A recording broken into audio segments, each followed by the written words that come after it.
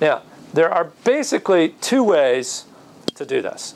Um, each of them has many variations, but uh, one way is to just slam, slam those two chunks together really fast uh, and really hard. And that's what's called a gun-type bomb. These are uh, simple, reliable. Uh, a number of countries have built them without testing. Uh, the United States built one without testing and just dropped it on uh, Hiroshima because we were so confident it was going to work. Basic idea is you have a piece of highly enriched uranium, uh, and you have a piece of highly enriched uranium, you have some explosives, and you fire it down the barrel. Okay, so the two come together pretty fast. Not any faster than a normal cannon, but basically as fast as a cannon shell uh, moving down a barrel. And the, the bomb that destroyed Hiroshima literally was a cannon that fired an HEU projectile into another chunk uh, of HEU. Matt, is there a minimum size that the propellant has to be? Does it have? You know?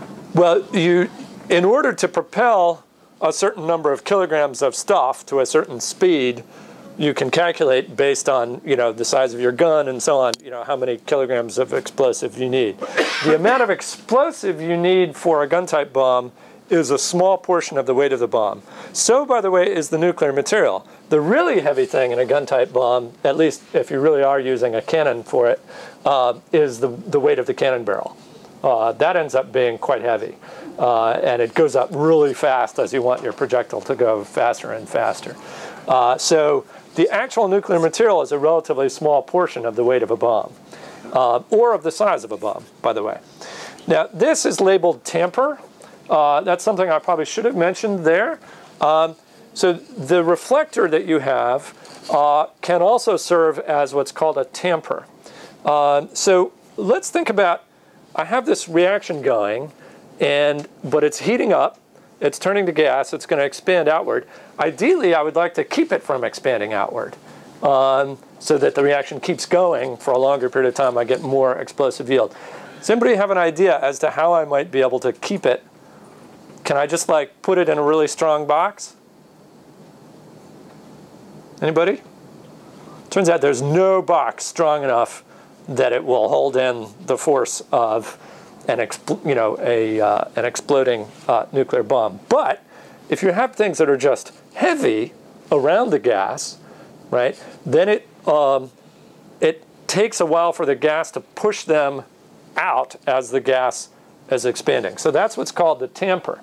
The reason that that's important is if you think about it, if I've got one neutron and then two neutrons and then four neutrons and then eight, if at each generation I've got about twice as much as the previous time, that means almost all of my explosive yield is from the last couple of generations of fission, right? All the stuff up until that time is just sort of creating a lot of neutrons to cause those last couple generations uh, of fission. So if I can just, and, it, and these are happening sort of on a microsecond time scale for each generation of fission. So if I can just hold that gas in, make, take, make it take a couple more microseconds to expand before it stops, I'm going to get a lot more yield. So something heavy to keep the stuff from expanding too fast is what's called the tamper. And very often the tamper and the reflector are the same object. Sometimes you have a little bit of extra tamper in addition to the reflector and so on. But so that, that's what there is here. So basically, um, these are these are very inefficient uh, weapons, and so you need a lot of material. Uh, you need something like the bare sphere critical mass, even if you've got lots of reflector and tamper and stuff like that, uh, to get a decent yield uh, out of that. So the Hiroshima bomb uh, had, uh, for example, uh, 60 kilograms of material that was about 80% enriched. Interestingly enough, the, the first ever nuclear bomb used in war was not weapon grade material. Uh, weapon grade material, as we'll talk about later, is more than 90% enriched uranium. The Hiroshima bomb was only about 80% enriched uranium. You can't imagine the number of times I've seen press reports of you know a nuclear smuggling incident where they said, "Oh, don't worry, it's not weapon grade. It's only 85%." I'm like, "No, wrong answer." Um, anyway, uh, so that's a gun type bomb. All right, so implosion type bombs are much more efficient.